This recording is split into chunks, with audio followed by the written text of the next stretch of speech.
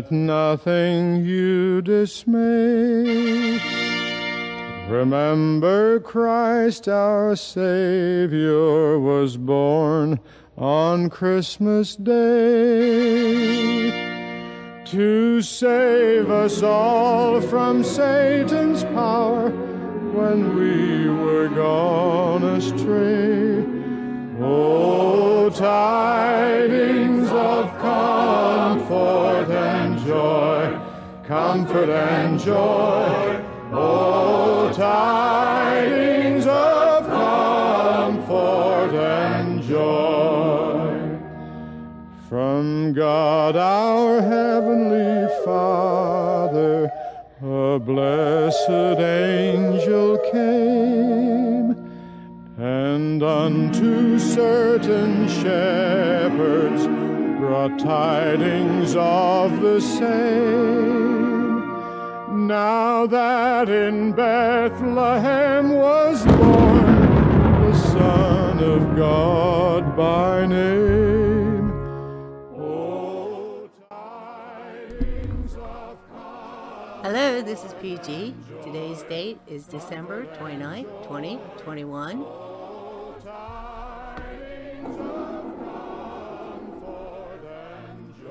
I'm going to read this off of Minds. Uh, 1230 uh, live stream. This is supposed to be AM. For those who cannot fall asleep tonight, PG here, Leah Michelle's mom, Patriot Gallery. Every so often, God's Spirit and power manifests itself, and I get a word and a leading from God. It does affect the future, but I'm not like a prophet or anything. I only get maybe um, 30 to 100 views for most of my videos I make. I come against spiritual forces and principalities in high places to build the foundation to build the foundation God made for America and restore lives through faith in God. I know each person was born very sound-minded with thoughts and instincts, minds full of the truth and knowledge of God. You were not born a blank slate as the liars tell you. Because why does Satan have to brainwash you, program you, lie to you for over 13 years in government, schools, TV, radio, um, all the ads manipulating you if you were born with a blank slate? I believe God for America's salvation. If the devil can tear you down like animals through public school, how much more can God, with his power and spirit, restore you back to the mind you were born with? If you were born on an island, no other people, you know automatically to use gold and silver coins. You know automatically to use horses for transportation.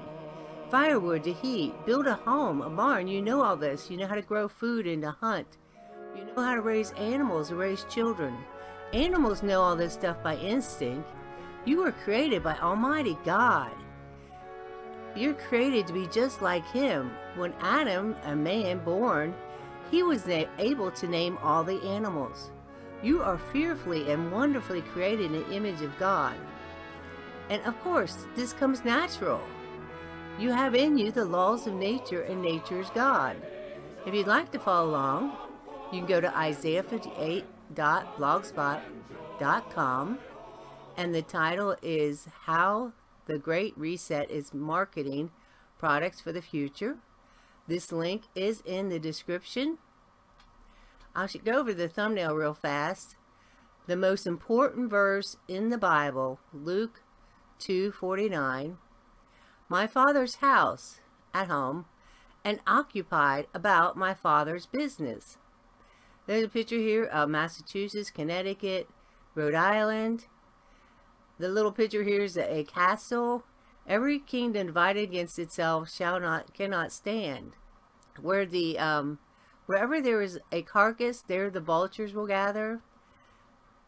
This is how the Great Reset is marketing products for the future. This is just a little side note I put on Brighteon last night for Mike Adams was doing a show.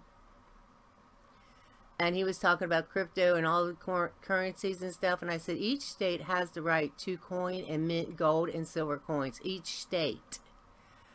Which they should be doing gold and silver limits government spending by the people. The people won't allow taxes like our founding fathers did when people are paying for things with only gold and silver coins. There wouldn't be any property taxes. There would not be any income taxes for sure.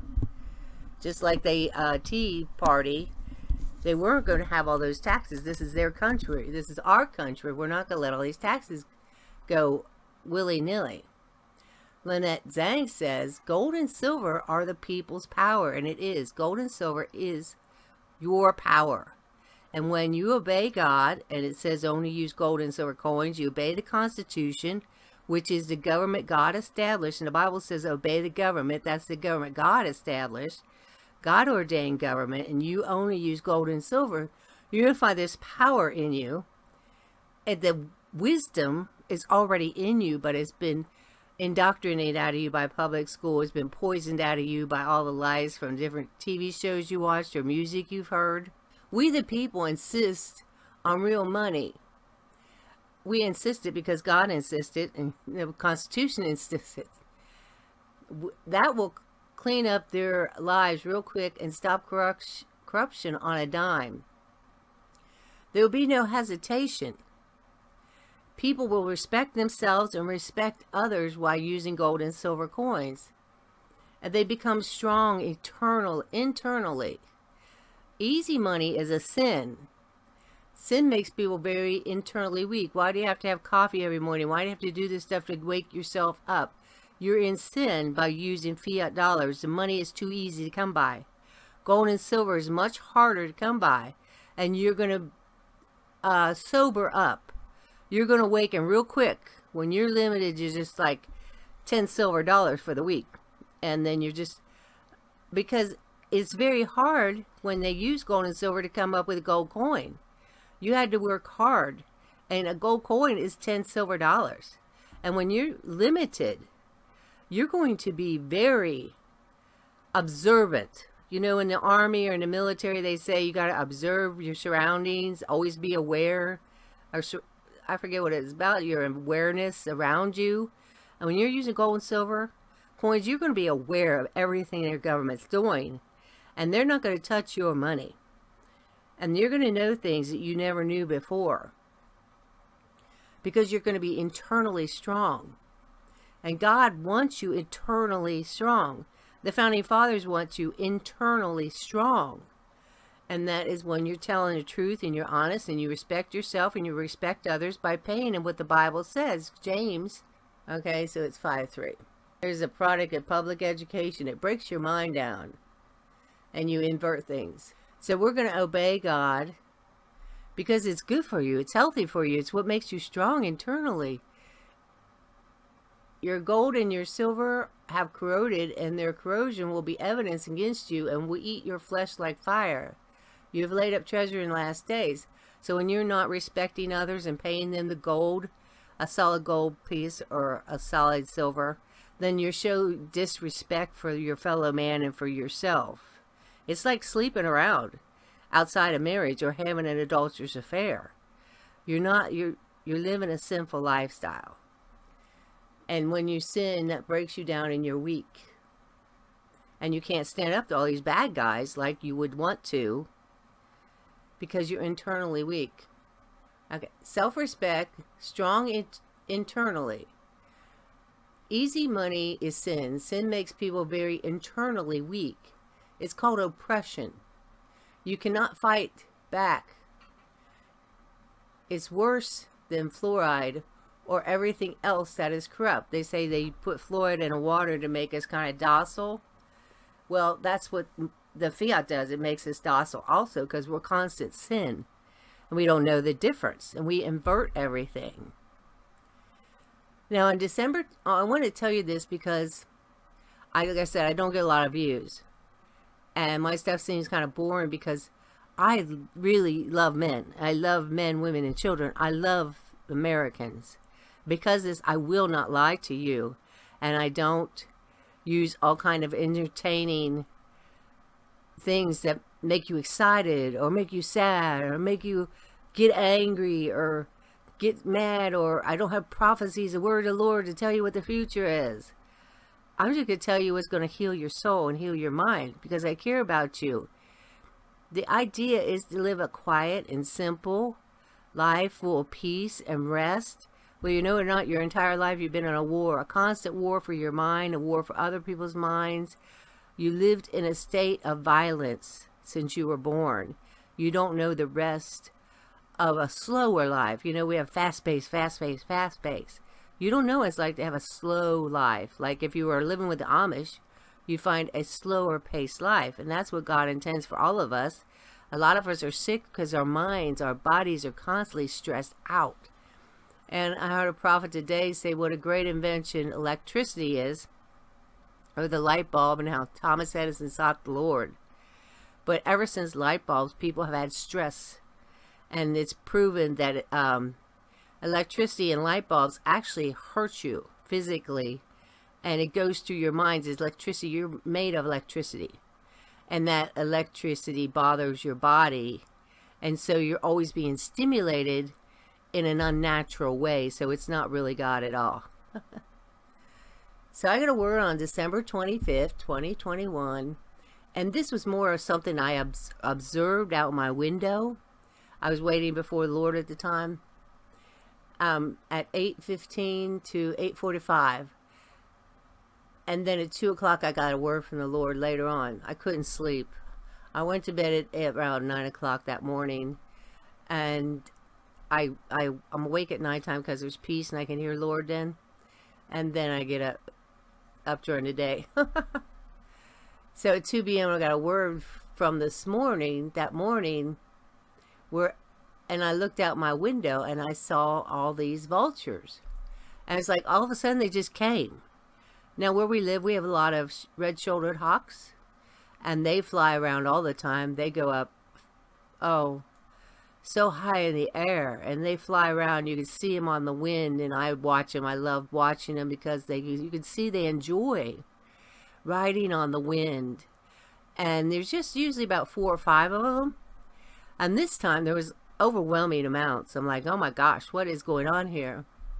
20 of or more 20 or more hawks uh, turkey vultures were flying around floating on the winds they enjoy the wind just like the red-shouldered hawks they're just a tiny bit bigger than the red-shouldered hawks it was a cloudy breezy day like in the picture below we'll get to that Eventually, they all landed in the branches at the top of one tree. That was really weird.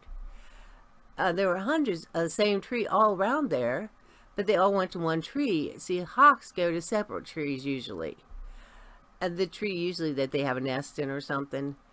But once I wrote it down, because I wasn't writing anything down, once I wrote down, they all left. It was like the Lord was trying to tell me something. There's lots of times the Lord showed me an owl one time. I mean, they come right to my window almost. It's like God's trying to get my attention. Um, there is a medium-sized pond about what Matthew 24. Then if any man shall say unto you, Lo, here is the Christ, or there, believe it not. For there shall arise false Christs and false prophets, and shall show you great, signs and wonders, insomuch that if it were possible, they shall deceive the very elect. Before, behold, I have told you before. And then verse 28, that was verse 23, 24, 25, then verse 28 is the picture above. And then verse 35, sky and earth will pass away, but my words will not pass away. And then the Lord showed me what he was saying, that if you go somewhere and they say, oh, Christ, Christ is here, your salvation is here, or your salvation is here. And Jesus is saying, uh, that's where the dead carcass is. If you go where everybody else is going, that's actually like Satan comes as an angel of light and there's signs and there's wonder and there's all these great things and great healings and um actually that's where the dead are. They're not alive in Christ. Our last blog was Jesus life in our blood. Jesus brings life to our bodies. You can still have blood. You can still be a living breathing human being still be dead on the inside because you need life from Jesus Christ. Um I went to the Auburn Audubon Society, California to learn what kind of bird I was looking at. The turkey vulture, and it showed me the difference between a hawk, because I'm so used to the red-shouldered hawks. I didn't know anything about the uh, vultures, but that's kind of like what it was. They're a lot less than that. That's almost 100 or 200 there. But the turkey vulture, groups of perched vultures are called a wake. Imagine them mourning over something with their heads hung down.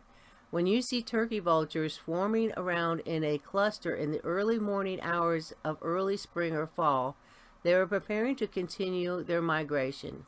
Vultures seen in the evening hours have probably arrived in the area that day and are preparing to roost for the night. Groups of vultures spiraling upwards to gain altitude are called kettles.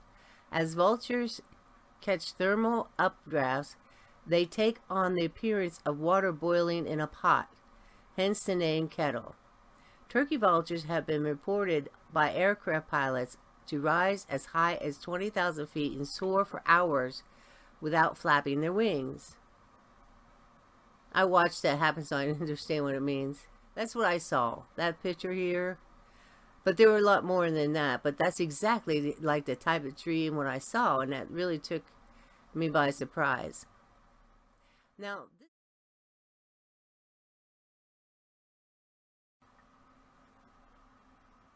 hello again. Had some technical technical difficulties. My video was five minutes behind what I was saying, so I had to stop and start again. And where the video left off is at the pretext. And so if you'd like to follow along, you, there's a link in the description. So before I can go on to the word the Lord gave me, I'm going to kind of set it up. The following was written before December 25th. Well, I couldn't remember what day I wrote it, like the 23rd or 24th. A kingdom cannot, a kingdom divided cannot stand. And there's a video below that's about the Great Reset and marketing products for the future. And it, the question is, why would public broadcasting network be attacking itself? It was attacking public education and saying all the flaws with it. And I was saying to myself, a kingdom divided cannot stand. And then I realized, no, this is a part of the new reset. Very clever marketing.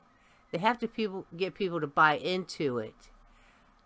And they have to uh, sell their new products. And in order to do that, they destroy the old products but it's the same devil. As long as the old system was there, they would say how great it is, how wonderful it is. It's kind of like you're selling a new car and it has all these things wrong, but you never tell what's wrong with it. I mean, I would, but bad people don't.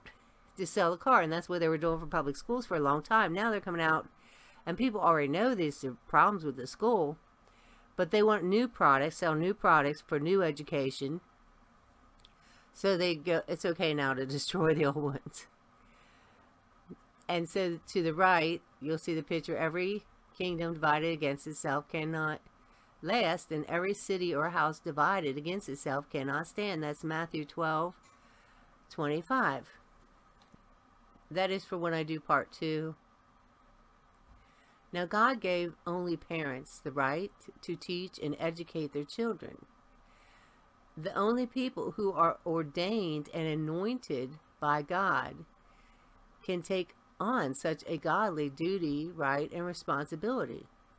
It is not, absolutely not, the state's duty or responsibility.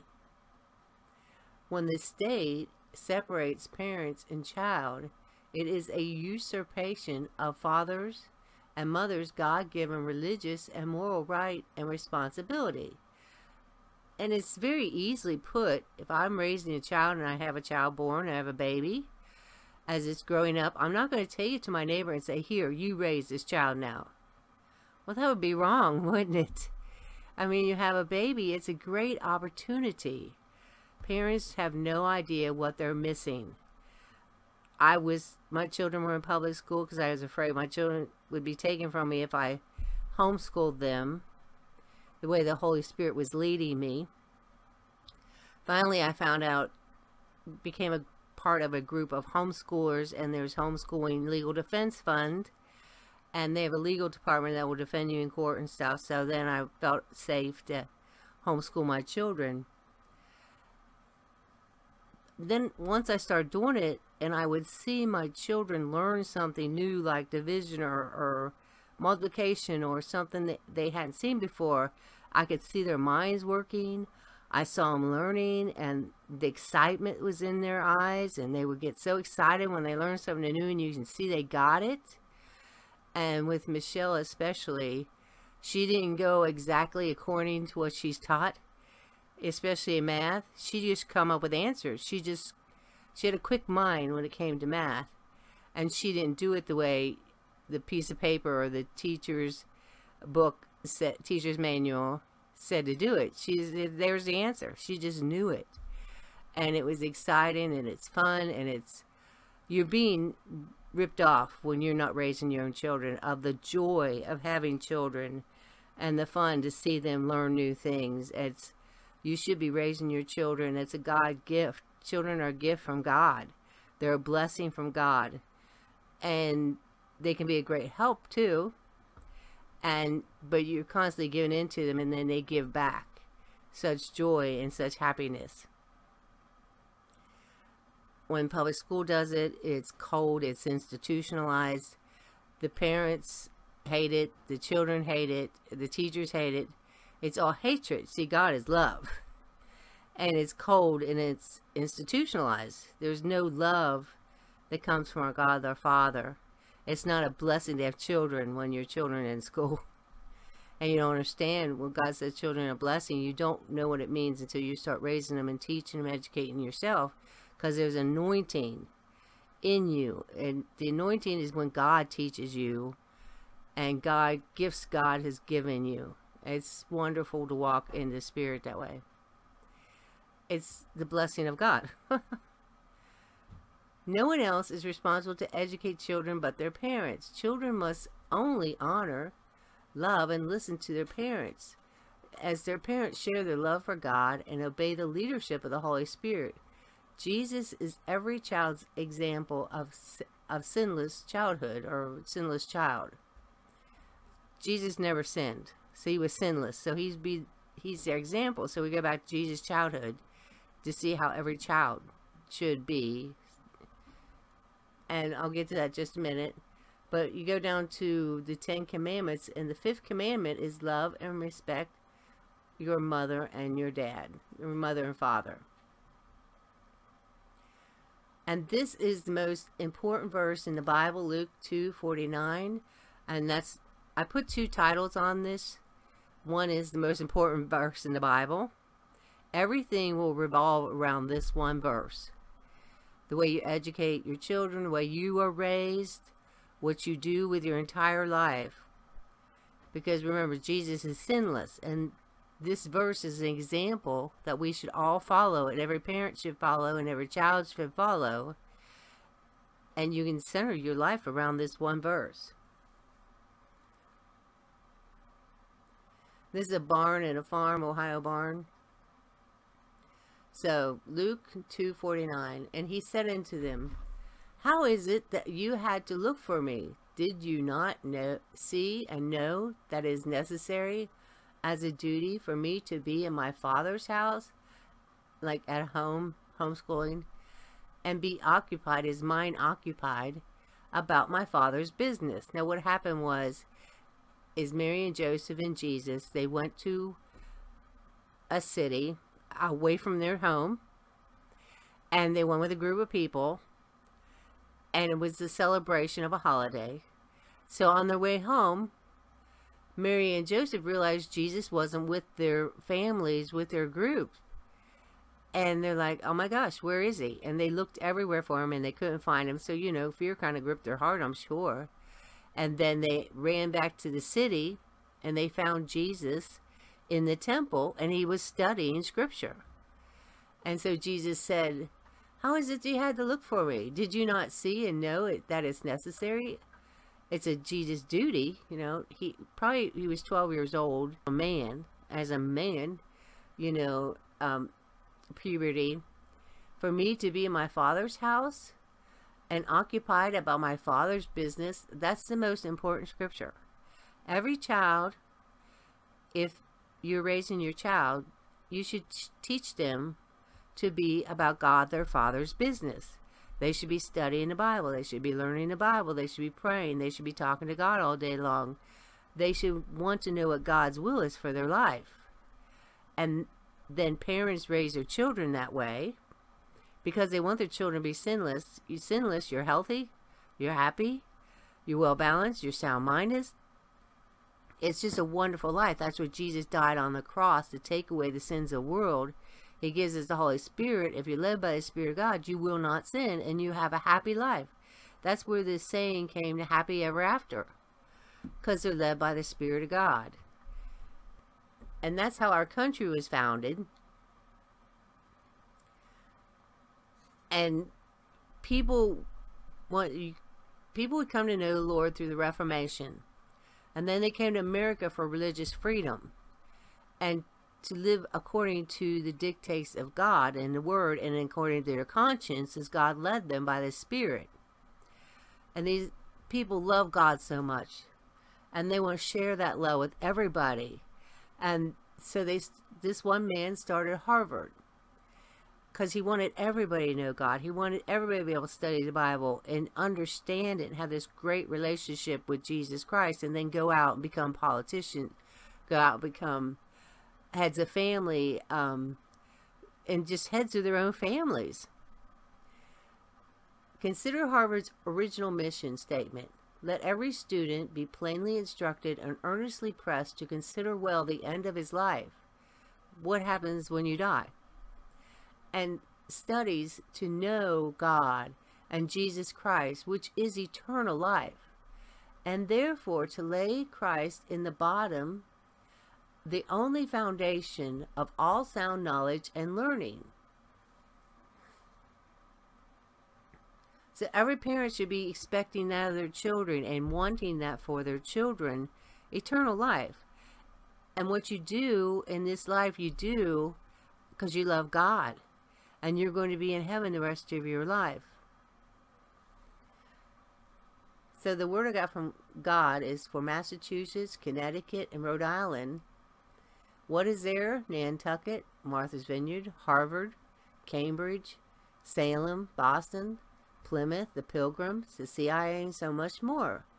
And so I kind of pointed out to everybody, this is, I'll get a word later I'll talk about, and it was for this area right here.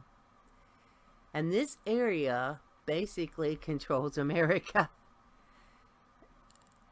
And says a small, see, you can influence a small amount of people for evil.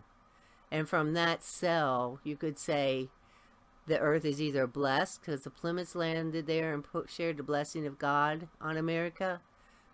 And then it got dirty, and dirty men came and took this little area over to control America.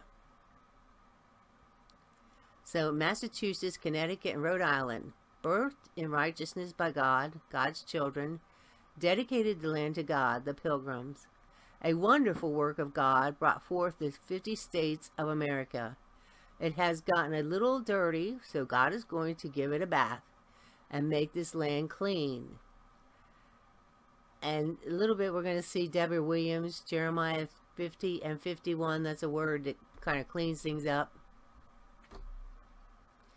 Founding era Americans of the 1700s, like the early Puritans, strongly encouraged education and teaching of the Bible in schools. Early Americans believed education, Bible education, in particular, was essential in a free republic such as the United States of America. Teaching the Bible was, they thought, an effective means to encourage religion and morality and ultimately self-government among the people. In fact, schools were originally been formed by the Puritans in the 1600s to teach children to read and learn the Bible. Later in the new nation, the founders continued to encourage the teaching of religion and morality in schools through the Northwest Ordinance of 1787. But its dedication at Cambridge, Cambridge University, Boston, Massachusetts, it's the law of the land, literally. It says the common law, and the common law is literally the law of land because there's admiral law, which is land of the sea, and then there is law for the church, which is canon law. So this is a common law. Now, when I say this, I wrote this comment to somebody who has shared this blog that, I mean, shared this video that I'll share in just a minute. And I was just showing her how this isn't a good thing. She shared it as a good thing. I said, think what I, think with love what I have to say. You were raised by these people. So you are doing exactly what they did. In the six, 1960s, they spouted out that Christian Christianity crushes innovation. This was their argument then. Well, that while they're spouting out all this garbage about Christianity and putting Christianity down and destroying Christianity, and they were saying Christianity crushes innovation, at that same time, Nixon was stealing our gold, our silver coins, and taking us off the, it was a monetary reset. That was a distraction. And people believe this lie of the Satanists that Christianity crushes innovation. People believe this lie of the Satanists. We have the mess we are in today believing the lies of the devil. Government schools are the end result of innovation. So in this video, they're putting public schools down, but it was innovation that they started these public schools. They didn't start them in Massachusetts like around 1901 with a a donation, a huge donation by Rockefeller. Um, they did they that was an innovation. And innovations are actually a very bad thing. I'll get into that in just a minute.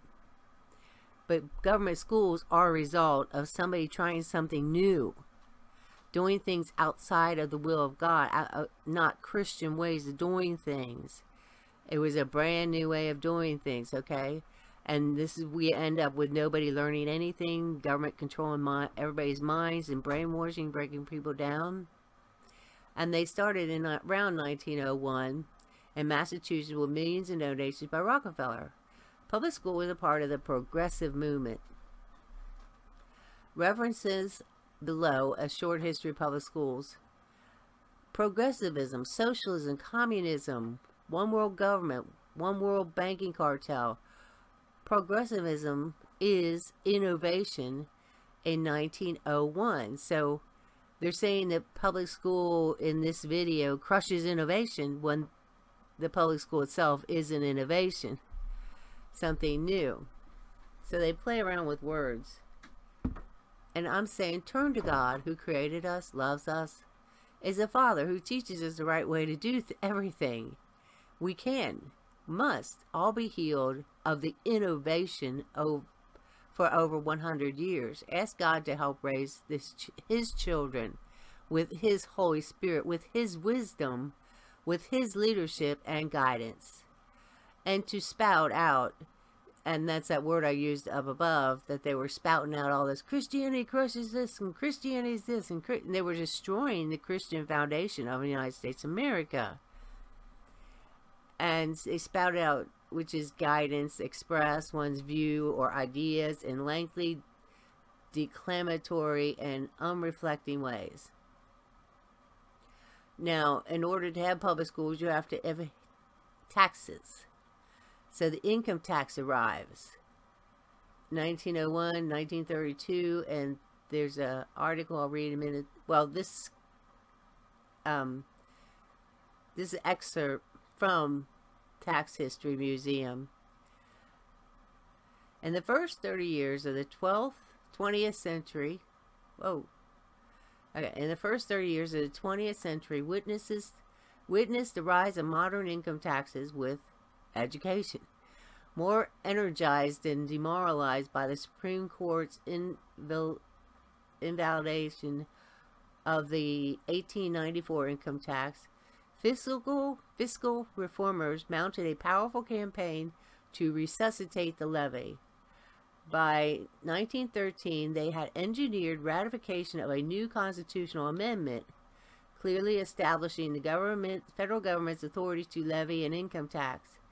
Could not find a physical location for the museum, even though there are three, there are three pictures of one. So I was trying to find a physical location of this tax history museum and I couldn't find one, so I think it's only online.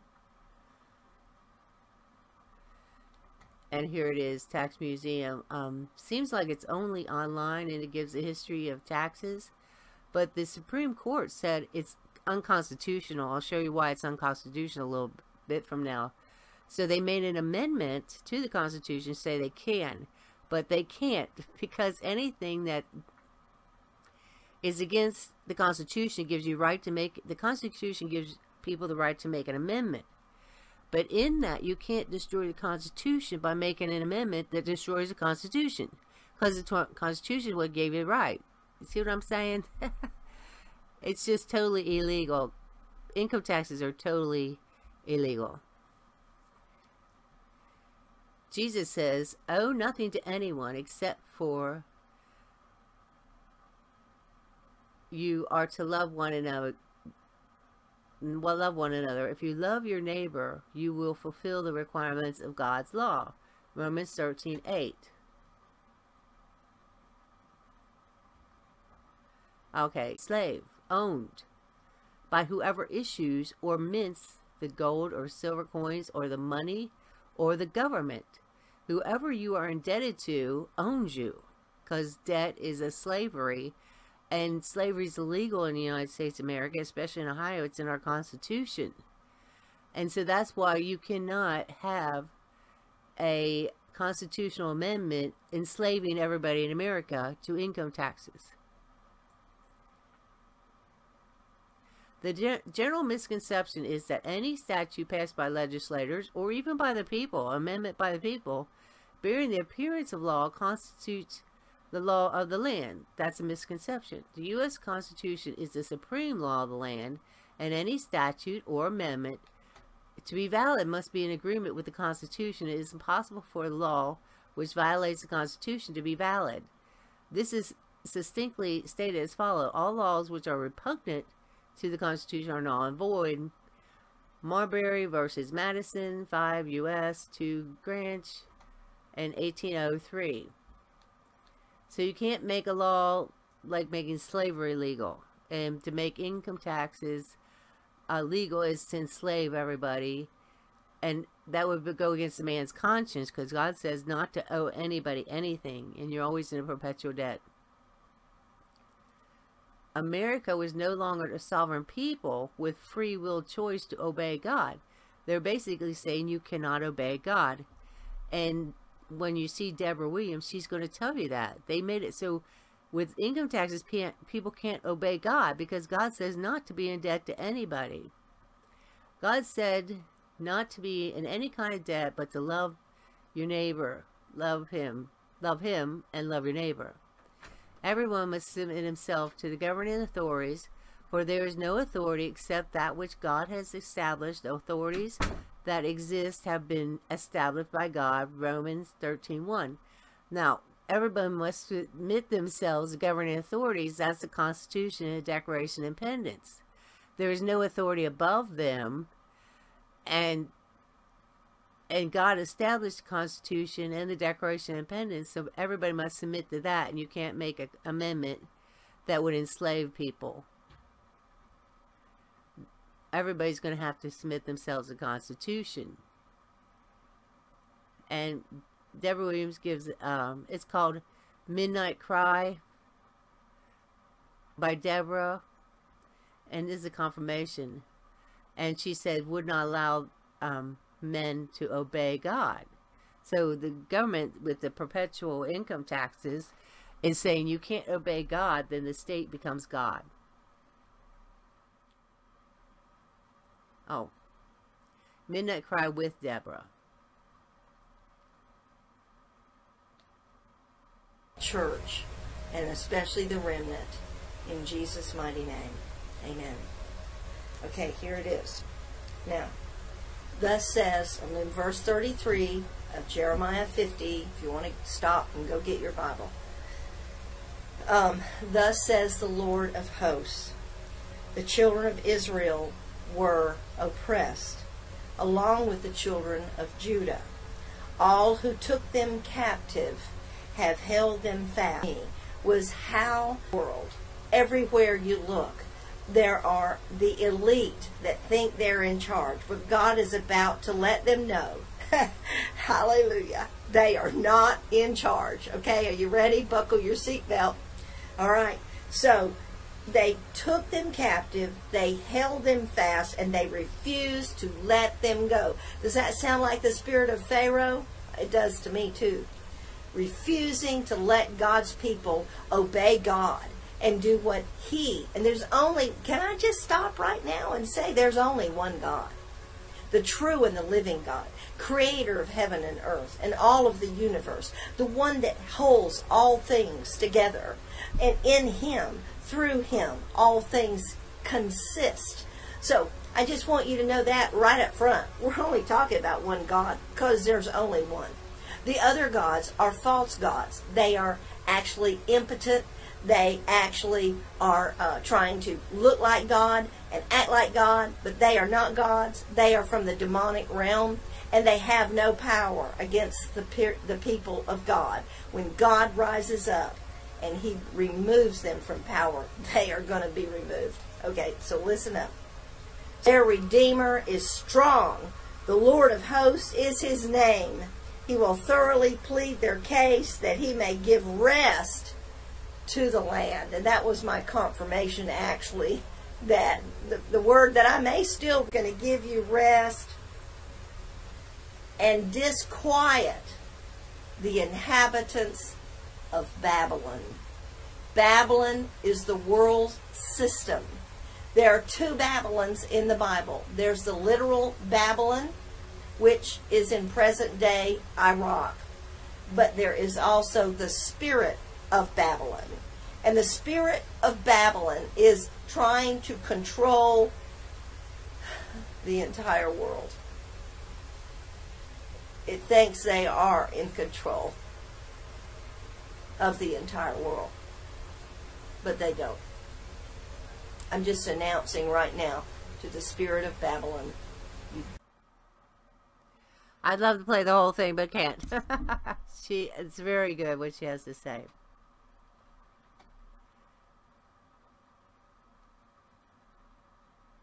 And the title of her video, there's a link here and also in the description prophecy God's reset is going to trump the devil's reset. The wicked elite are not in control. December 26, 2021. And she gives a lot of scripture. Um, basically, Jeremiah 50 and 51, chapter 50, chapter 51. But I'm just going to share a little bit of it, 33 to 36. Thus said the Lord of hosts, the children of Israel and the ch children of Judah are oppressed together, and all that took them captive, held them fast. They refused to let them go. Their Redeemer is strong. The Lord of hosts is his name. He shall thoroughly plead their cause, that he may give rest to land and disquiet the inhabitants of Babylon. A sword is upon the Chaldeans, which is Babylon, said the Lord, and upon the inhabitants of Babylon, and upon the, her princes, and upon her wise men. A sword is upon the liars, they shall dote. A sword is upon her mighty men, and they shall be dismayed. Now, Babylon is like the world system, like when the Egyptians held and enslaved the uh, Israelites and the Roman Empire. It enslaved people. And so we have these people that for a hundred years have enslaved people with the income taxes most important job of income tax is the public schools. And so you couldn't have property taxes. Separating children from their parents, from the farms, that separates them from independence. You know, we have the Declaration of Independence, and that basically is the gospel of Jesus Christ, that all men are created equal by God, and they're given indelible, inalienable rights, by God to love God, to serve God, and to worship God, as their conscience leads them and to live by the laws of God. Basically what that is. And no man's arbitrary laws and no dictatorship of a man made up law. And they did this to create a workforce of ignorant slaves. So if you're separated from your families, you're separated from the farms. You're separated from being independence. Then it takes them 13 years, like I said in my introduction, to break you down from your independence. And John Locke, a wonderful man, our Declaration of Independence, basically quoted from his second treatise of government. Whosoever uses force without force, without right, they don't have a right from God, puts himself into a state of war with those against whom he uses it, and in a state of in that state all former ties are canceled and all rights cease and everyone has the right to defend himself and resist the aggressor. So when they started income taxes, even if there was an amendment to the Constitution, that amendment is at war with the people, and people have the right to defend themselves against it. Because it's repugnant to the Constitution, it's against the Constitution, and we're all called by God. It's our duty, it's our responsibility to defend our country defend the Constitution, and we must destroy that amendment the Constitution allowed uh, the government to, to create income taxes and property taxes. Deborah goes on, a sword against principalities in high places, witches, witchcraft is witchcraft is controlling other people's minds. And so when you have income taxes they're controlling your minds for your perpetual debt, you there's no way to buy your freedom from it. And public schools is witchcraft. Goes on to the end she goes on to the end of chapter 50 and I put a link in the um descript no not in the description but in the blog. It might be in the description. This is it. So you'll find a link for Jeremiah 50 and a link for Jeremiah 51 and that's in the blog itself and the link to the blog is in the description I'm going to play a little bit more Jeremiah 51 Babylon is suddenly fallen and destroyed. How for her? Take balm for her pain. If so, she may be healed. We would have healed Babylon, but she is not healed. Forsake her, and let us go everyone into his own country. For her judgment reaches unto heaven, and is lifted up even to the skies. The Lord hath brought forth our righteousness. Come, and let us declare in Zion the work of the Lord our God. And basically, to his own country. You go back to 1900s and then uh, up to like 1940 and see what land your grandfather owned. And that's still your land before they started property tax, before FDR took all the gold and silver. They did all this manipulating to put us in slavery, take us off the farms. There was inherited taxes where people would have to sell the whole farm in to pay the inherited taxes. There were property taxes where you had to have this money, whereas land's a free gift. They can't charge you for property taxes. It's like coming and you have a wallet, right? And they're saying they're going to tax your wallet or your clothes or eh, you, they can't tax something that you own and paid for. And so basically, at year Jubilee, everybody returns back to their own land.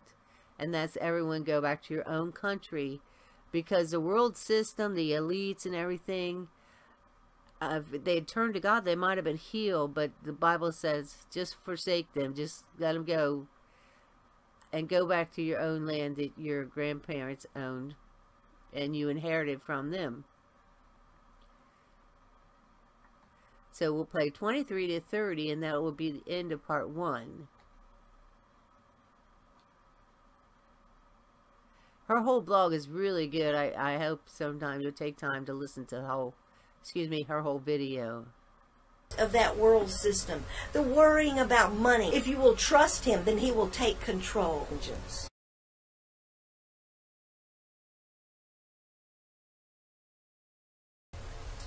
Um, Babylon was a golden trump, all the uh, golden golden cup suddenly fallen and been destroyed. I spoke about this fallen and been destroyed. When he gave this word, in Jeremiah, it's already taken place because he knows the end from the beginning. He's the Alpha and the Omega. He looks down on time and sees time. He's outside of time. So when he says that about a lot of prophecies right now, there is a lot of prophetic words, and I got a word about that too. But uh, that I want to share with you. But I just want to say that the prophetic words that are coming forth are to encourage you and give you hope. And the word that God gives his prophets, you can find them in the word. They're not new. They can be actually confirmed with God's word. I never give a prophet. So, okay, aside from all that, Babylon has suddenly fallen and been destroyed. Wail for her, take balm for her pain, and let us go, everyone to his own country. God's going to restore nations.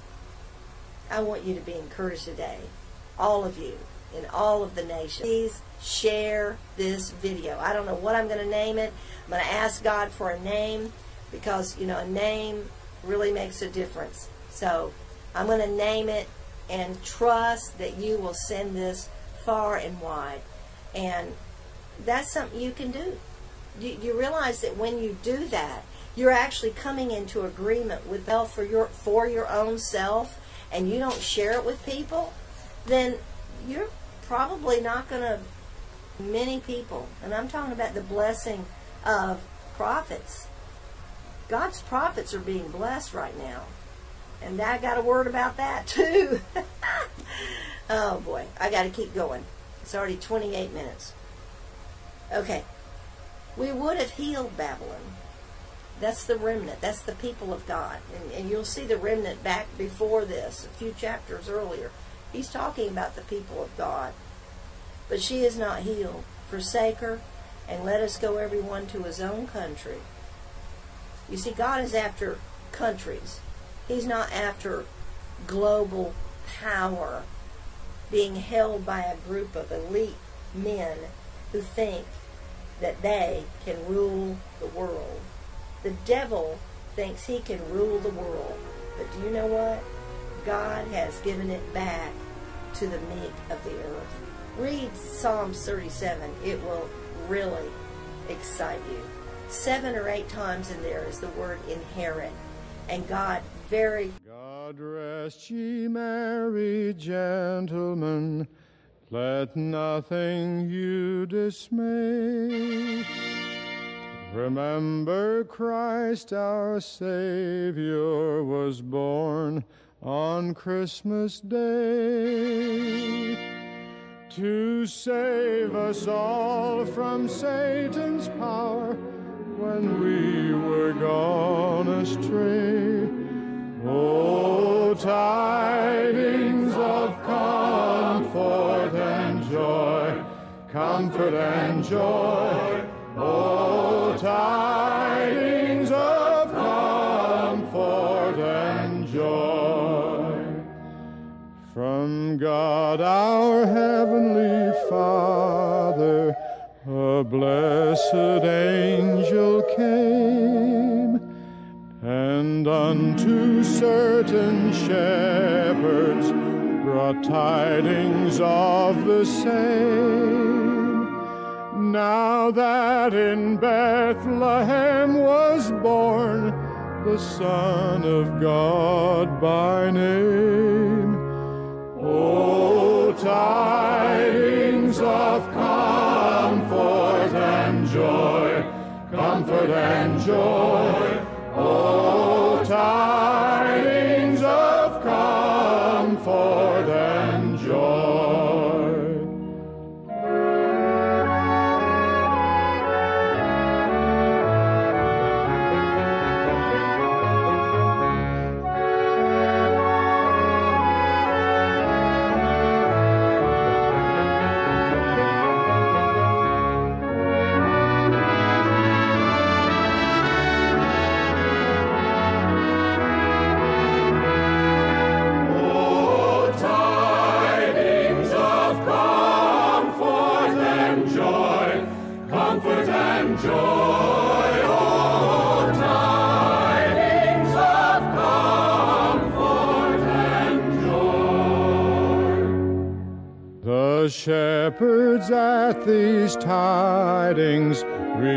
rejoiced much in mind and left their flocks a feeding in tempest, storm, and wind.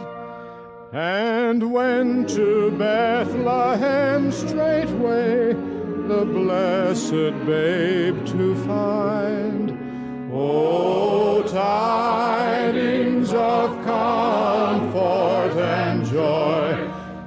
Comfort and joy,